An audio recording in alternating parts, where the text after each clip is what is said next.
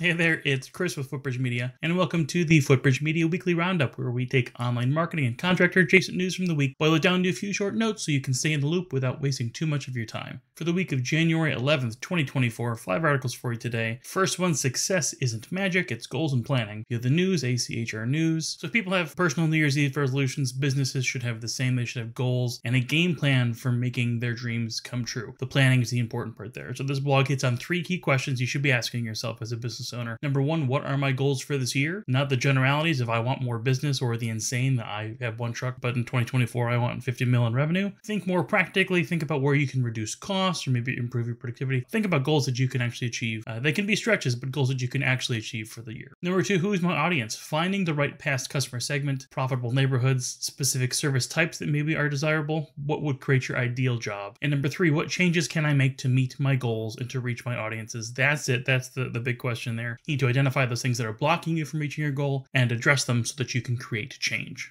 From Gizmodo, this one's called the dumbest Google result of the week. I actually originally saw this on Twitter uh, via Lily Ray, who's an SEO with a big presence on Twitter. Basically, about the same thing about how Google sometimes doesn't work out so great. So, if you do a Google search, and as of when I recorded the video, this still works. Uh, if you do a Google search for JFK death penalty, that specific phrase, the first thing that comes up is a Google Doc, and it appears to be an essay from a middle schooler. It starts off with how JFK was an interesting man. The second result, it's admittedly outdated from a technical standpoint. It's not SSL secure. The website actually says best viewed using Adobe Be flash, but it's a website that was built by the JFK Presidential Library and Museum, and that ranks seconds to this random Google Doc. Further down the page, ironically, is actually this Gizmodo article now. It's just a good demonstration of how sometimes Google has a hard time figuring out what results are the best to show. Have a little bit of humor in the day. Think about that, that specific problem that Google has today. The next one here is My Six M's of Social Media. This is via Search Engine Journal. It's actually an excerpt from a book called Organic Social Media by Jenny Li Fowler. The article basically hits up, like it says, the proposed six M's, their proposed framework for how you can create a social media strategy that's pretty solid. So the six M's mission, what's your goal for the social media endeavor? Message, what are the stories you're going to tell to support your goals? Management, what systems are you going to use? How are you going to craft and post your content? Medium, what social media channels and platforms are the right choice for your mission and for your message? Metric, what does success look like? How are you going to track that? What numbers and stats mean success to you? And monitoring, what is your audience saying about you? And can you use that to further craft or tweak your mission and your methods and everything else? So this fourth one was a very interesting one that I've seen a lot of SEOs talking about how Google perfected the web via The Verge in what's a little bit of a trippy format, uh, which is what The Verge does with a lot of their long format stuff. This article breaks down some of the basics about how Google works and about how SEO works. But the overall theme here is that Google, for better or worse, is shaping the web to its will. So the idea here that websites can't just be unique to be good, they must adhere to specific rules, formats, and guidelines to gain visibility on Google and how that's a bad thing. There's a little bit of back and forth here. They both critique Google for making websites follow these rules to get visibility, but they also praise Google for creating web standards that make web browsing better in general. You think about page speeds and SSL and security and all that. There are also a few bad assumptions here. Uh, they suggest that a big old wall of text is easier to read than something that's choppy and, and broken up with subheadings that define content sections. Uh, at one point, they also take a real big leap and they decide that for some reason, because they're doing all these things for Google, they now must have spammy looking ads in media because Google. I didn't quite get the connection there. At the end of the day, The Verge is suggesting Google is the reason why websites almost look the same, which to a point I understand. When we build websites exclusively for Google, when we are writing Google first and building Google first, as this article talks about, they don't usually look great or function great. Think about any recipe you've ever Googled where you have to get through someone's life story before you get the recipe. But also, Google's in the business of making you come back to Google again. So over time, all these things get fixed. They always continue to modify their processes to try to give you the content that keeps coming back. The flip side of the criticism that Google is stifling this type of unique content is that this content is not there for art's sake. The content is there for a business purpose. So if you want visibility, your business has to play by the rules. It's like complaining the city's out to get you because you can't build an unsafe brick and mortar storefront with a 100 foot tall neon sign just because your city has building inspectors and municipal codes. Google is the game, so you gotta play by the rules. Your creative urges to have a weird website be damned.